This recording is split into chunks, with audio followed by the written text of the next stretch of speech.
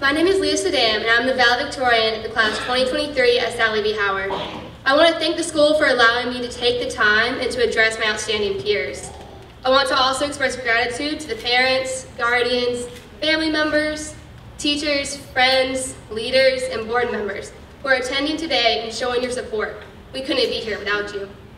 I'm so proud of my class for putting in the work to stand here before me. Though some say high school will be the best years of your life, it is no walk in the park. We didn't have the typical high school experience. We spent our first year of high school staring at a screen, unable to make friendships or seek companionship, alone. Even when school was back in session, our faces went unseen.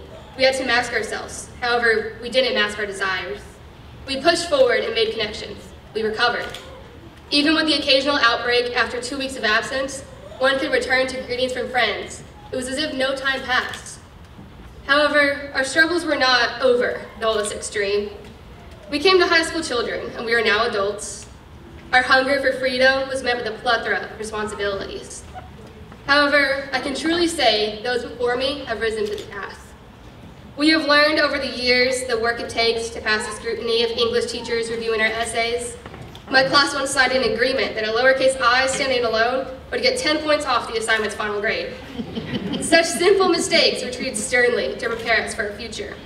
Some of our family members here have probably heard us at one, one time or another complain about a map project. Yet the same map project that forced me to stand nervously in front of my peers, desperate to remember curriculum, has prepared me for this speech. Every action taken by our teachers to challenge us has only made us stronger. However, our resilience is not our only strength. Community. As a new student, last year I was frankly scared as to how I'd fit into this new social group. But I have never felt, once felt that I didn't belong. I'm sure the other new students here agree that the Sallie B. Howard community is one that is open to others and even inviting. I will remember fondly the memories we made together. The daily fist bumps from Enrique that I would always be like to see. Every class turned into a theater with Angel.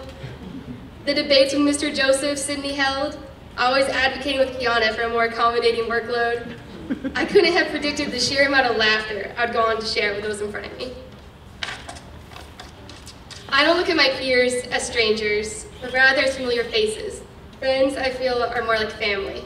I see names, I see futures, I see success. But let me not get ahead of myself. I see success stories waiting to happen.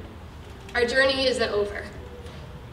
We have overcome a period of hard work, and as many have put it before me, we live through uncertain times, but a new journey is about to begin. I have discussed many versions of success with my peers, each version is unique yet ambiguous, a general outline with no singular destination. A computer science major, future star, archivist, stylist, and more. We all have such varying dreams, but we've all felt the uncertainty of picking a path. The truth of the matter is, there is no one way of life. Sallie B. Howard has prepared us for any path we may take by teaching us to take advantage of any opportunities presented. As many have said it before me, it is not just your brain, but your heart that matters. We have been prepared to be kind, loving, thoughtful, and connected with others. Connections make the difference in the distance you will travel. Most of all, I want you to remember, success is not defined by one's status, wealth, or looks. Is defined by one's growth.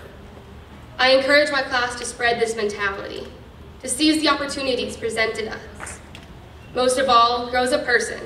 Learn to love not just others, but yourself. Lastly, let me introduce the person who made this all happen.